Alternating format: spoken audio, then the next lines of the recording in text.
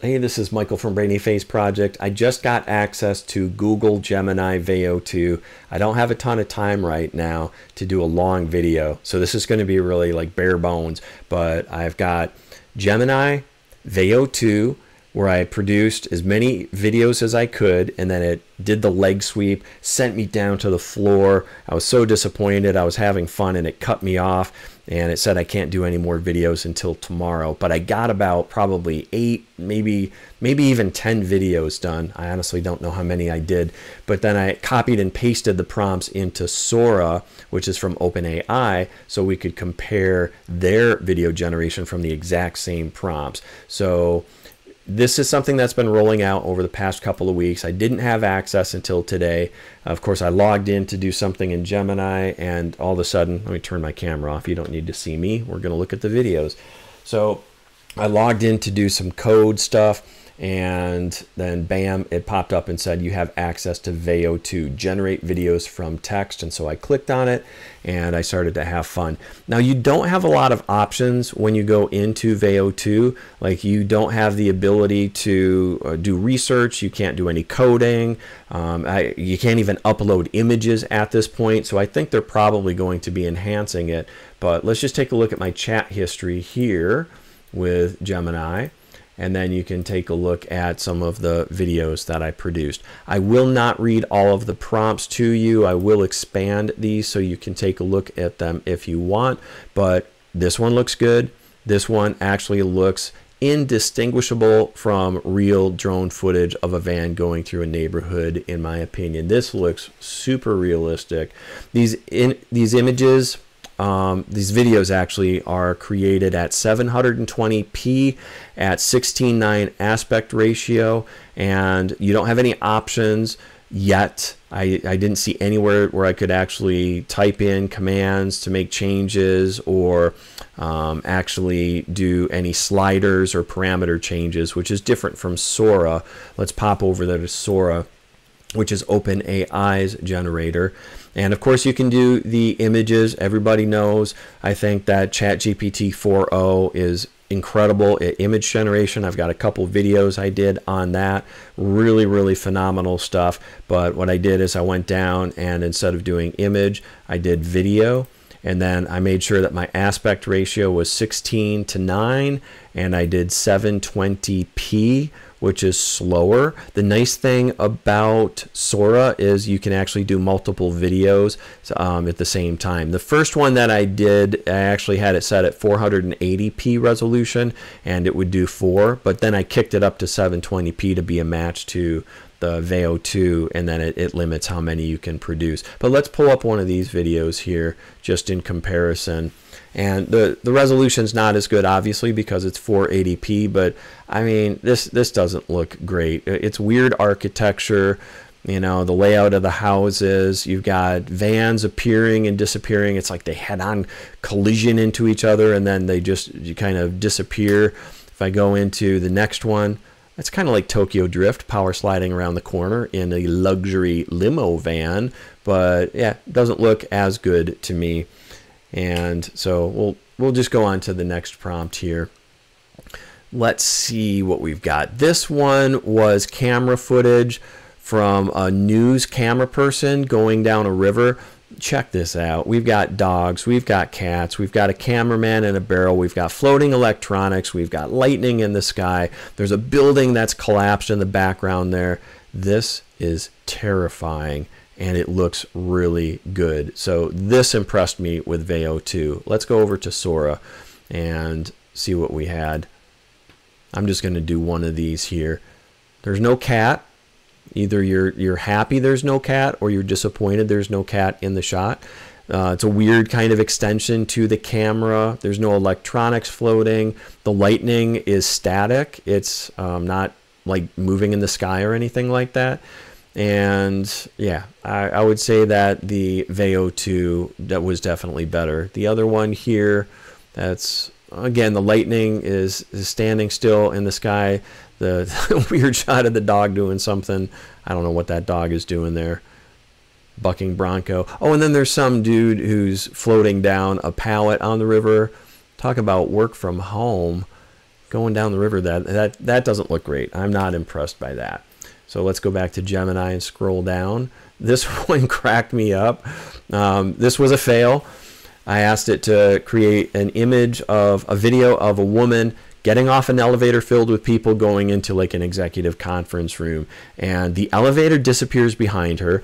The little break in the table seals shut and then she walks through the table. Everybody kind of snaps at the same time and does some weird move. There's no running man. Like she is not running doing the running man dance move at all I, I've been using FramePack, which is open source, and it does a really good job of getting people to dance. And this this was just like no fail, definite fail. If I go to Sora and pull up Sora's version, there's no elevator. There's like clones of the same dude in the background there, and yeah, she walks on the table. She does a little hair fling at the end, but this is not passable. You could not use this like in a corporate presentation. This is this looks so AI generated. Because there's two, I'll just pull up the next one here. No elevator, walking on the table, weird foot stuff going on as well. Yeah, I'm not impressed with that one either. Let's take a look at the next one here a cartoon of a giant rabbit. That rabbit had a really tough Easter. I don't know what happened. What did the kids do to this poor rabbit? He had to make his way to the countryside to try to escape. And it says out of carrots in the background. This is Veo 2. It actually got the text correct. And so I think it did pretty good adherence to my prompt on this one. This weird little glitch with the door, that's not perfect, but this is not bad. This actually looks pretty darn good if I go and I had I forgot to do this one, so I had to do it um, last before I hit record on this video. But this is Sora. No, no, this looks like bad computer animation from like the late 80s or early 90s. Um, mid 90s. Yeah, I don't think this looks great. And did it even get the carrots in the background? I think it was kind of like Okay, I kind of see carrots in the background. What about the next video?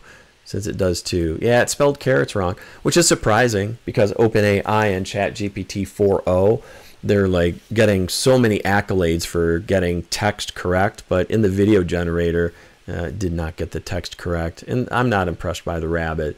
For me, this is definitely the victor between the two. All right, this one was kind of a fail and it warned me when I did this video like it hung for a while and then it, it made me wait. It, like it made me wait for I don't know how long it was but 15 minutes half an hour something like that before I could generate any more videos. Um, and then ultimately when I got done doing like 10 then it cut me off entirely and said I had to wait a day. But let me hit play on this one. Oh see this is why this, this one yep it didn't even generate so that was disappointing. I might, if I can find the rendered version, I think I downloaded it. It's not playing on the website, but I'll drop that in. And if it dropped in, what I remember here is that it started out, it kind of looked like a cell, um, like a single cell. I wanted an electron microscope style and then I wanted a face to appear and then I wanted like this perpetual zoom out. So I intentionally introduced a few different steps to see if it could create kind of this smooth transition between different scenes. It was unable to do that so that wasn't great. But if we go back over here to Sora and scroll down the page let's take a look at at least one of these. Uh, got eyebrows floating. It's, I, this is a big mess of who knows what. I mean, it kind of was created with the transitions, but this isn't usable. What about the next one here? Oh, it's making me dizzy. No, that's no good. Er, fail. Let's go back over here and see what the next prompt was. This was, I wanted time lapse and I wanted a sandcastle being constructed over time.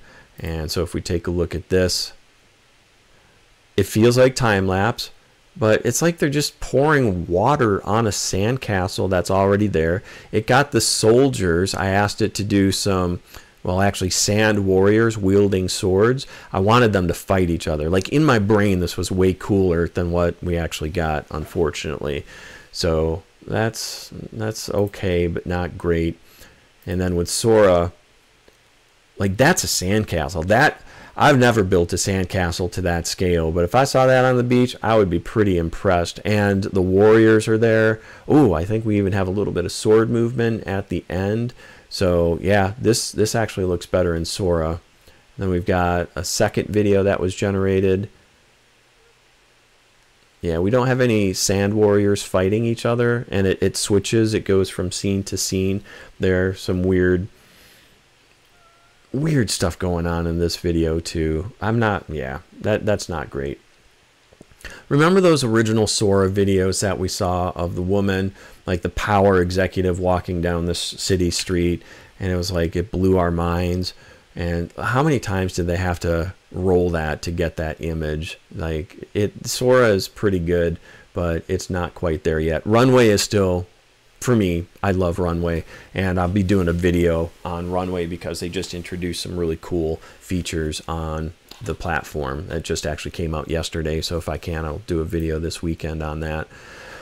All right, so this one was actually pretty good. Cinematic drone shot flying forwards um, through a marketplace of a bustling futuristic city at sunset. So this one looks pretty good to me. I like this. Um, we've got the advertisements on the side. We've got the marketplace with people milling about down below. Like this is actually pretty cool. I like this. And that is Veo 2. What did we get when we did Sora? See, when I say I want a drone shot, I don't want a shot of a drone. And that's what I got here. So it's actually literally got a shot of a drone, like a drone on a drone. And the images on the side of the screens, like th those aren't advertisements. It just like put the same thing in the panels. It doesn't, this doesn't look real at all. What about the next one? Ooh, is that the new iPhone? those are huge. Those are definitely those aren't really advertisements, but again, we've got a drone on a drone. We've got um, lots of drones flying around. Actually, I would say that Veo 2 did a better job between the two. What else do we have here? This was a skilled chef with curly black hair and a big mustache, wears an oversized chef's hat with a star logo on it and a brightly lit professional kitchen, expertly chopping vegetables with rapid, precise movements and then tossing them into a flaming wok close up on the chef's hands in the flames, cinematic food videography style. So it got the star, it got the black hair and the mustache. I'd say I, you wouldn't use a knife, that looks pretty dangerous, but the flipping looks pretty good. I don't know, this doesn't suck. That actually looks pretty good. What do we get with Sora? Oh, th this is a dude that I definitely want to sit down and have a drink with. Look at that hair. He is he's a rock star and he is going to town cutting vegetables in a very dangerous kitchen. So the flames dancing all around. Um, yeah, I would I would eat at this restaurant. If they had a hibachi restaurant where this was the chef at the table, I would go back like at least once a month. And this looks good too. Got the star on the hat and the knife. That's weird. Yeah, knife going through. You've got some inconsistencies with the flames and the lights behind it. But uh, this is Sora. I'd say I'm more impressed with the Veo 2. All right, so this was a claymation scene of two quirky alien creatures with googly eyes building a spaceship out of common household objects. Let's hit play on this. I like it. You can build a story out of this. I think the characters are good. I like their facial expressions. That's cool. I like that one for sure. That's good. Let's take a look at Sora. And what do we get on this one? Oh, we got some bouncing uh, creatures here. Looks like a tinfoil hat. They don't know what to do with that. Uh, definitely got the googly eyes right. This is pretty good too. And this one, I like the camera motion. The way it's kind of zooming in on them. Looks like they're dancing or chanting or summoning their their alien overlord. Okay. What else do we have? Any left? Let's see, I had a surreal scene, a landscape made out of flowing, colorful silk fabrics instead of ground and trees, billowing gently. And yeah, that was pretty good. We got the gears, and then we've got the silk fabric falling from the gears in the sky. So I think Veo 2 came through on that one. And uh, did I even do one? Oh, yeah, I did. It's down here. Yeah, it's not flowing the same. I mean, the silk looks pretty cool. It's it's pretty. The gears are turning, mm, separating from each other. But I like the way that Veo 2 actually had the silk flowing from the gears instead. And here's the second roll on this one. So, all right. Well, anyway, this was just a quick video so you could take a look at Veo 2. If you have any stuff that you'd like to see, definitely let me know.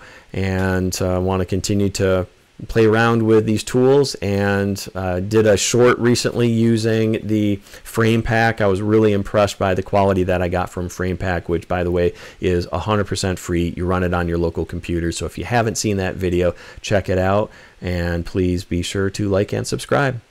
Thanks for watching. Take care Bye.